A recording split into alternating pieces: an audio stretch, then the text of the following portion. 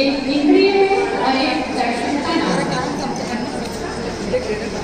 चक्षु इंद्रिय हाँ।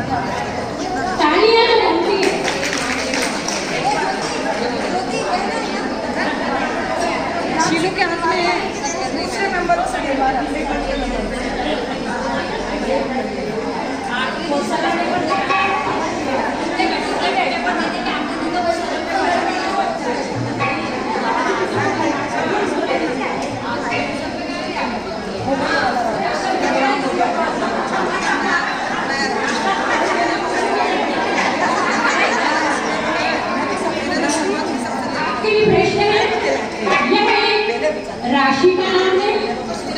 इसका जीवन जल है। यह दो अक्षर का नाम है। मीट मछली। बिल्कुल सही।